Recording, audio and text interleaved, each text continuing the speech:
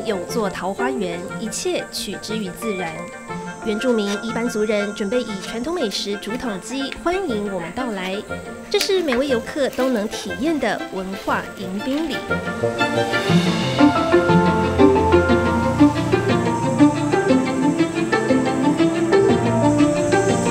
That is lemongrass. Lemongrass, so I do this first. Okay. Is it okay? Yeah, like this? Okay. And the ginger. Ginger. We have the turmeric. Okay. So just like Yeah, this. yeah. Just put it there. 香料是竹筒鸡的灵魂，搭配卢旺子、胡椒和盐巴平均分散，马杀鸡让鸡肉充分入味。Ceremony or some event or some VIP visit them, then we'll do. 装鸡肉的竹筒有学问，只能用河边生长竹子产出的汁液融合香料才够鲜甜。烧烤前交给一般族人用姜叶封口，准备 barbecue。I'll try it. Sorry. E- Like this? Yes, yes. Yeah. Yeah. Finish? Yep. Okay. Good.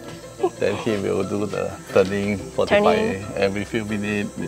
Control the fire. 木材烧烤四十五分钟，鲜甜鸡汁、软嫩鸡肉，让人看了食指大动。Food, where we eat, they know the food is from the villager and the local people who cook it. Not not imported food from overseas by plane or things like that. We use local, 100%. All all um, from the village, all the worker. Huh?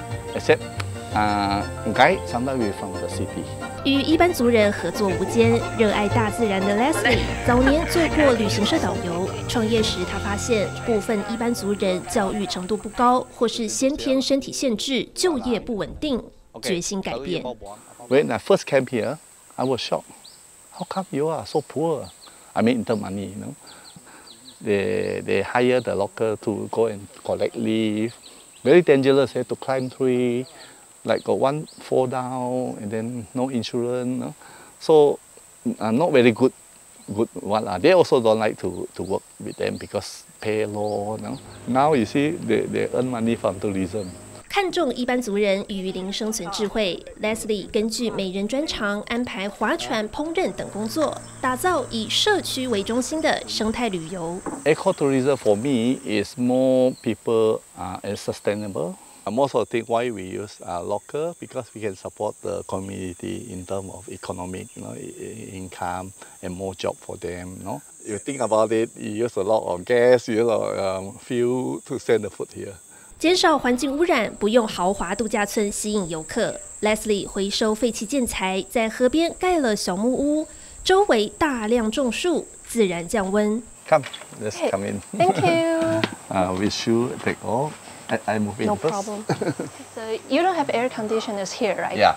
So now all these are the mosquito netting all around it, four corner, so the wind can pass through. Oh, and have the then uh, fan. here we make a big uh, mosquito net window like that, so people can see the river. uh. Yeah. Sometimes they see beautiful. squirrel up and down or fish jump.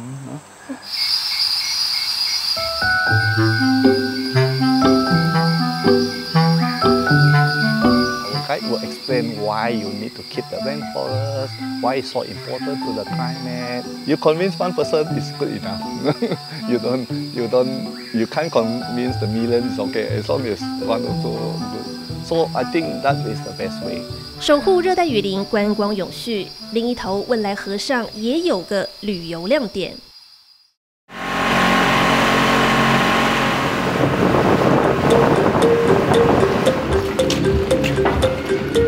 亚最大水上聚落就在汶莱，六百年历史，至今仍有上万人口，号称“东方威尼斯”，各家都是造船高手。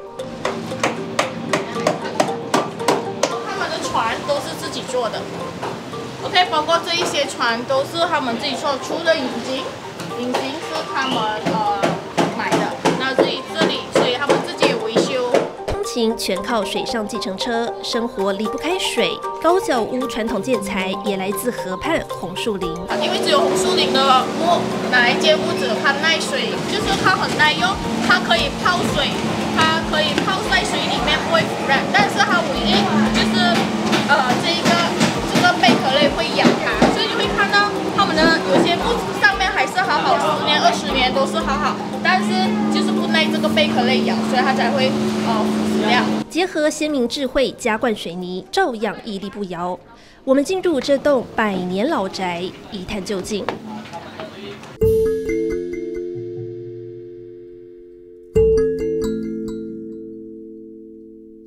宽敞客厅，待客专用。墙上苏丹和苏丹后照片是马来家庭标配。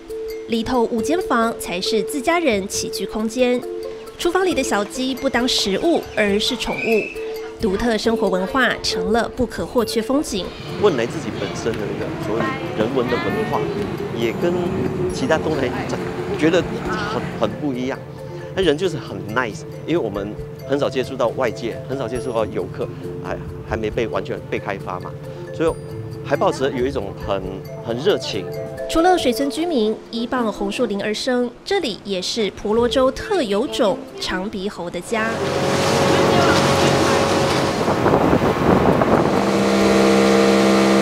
傍晚时分寻找教客踪迹，但能不能亲眼目睹得凭运气。就在我们四处搜寻之际，本尊现踪。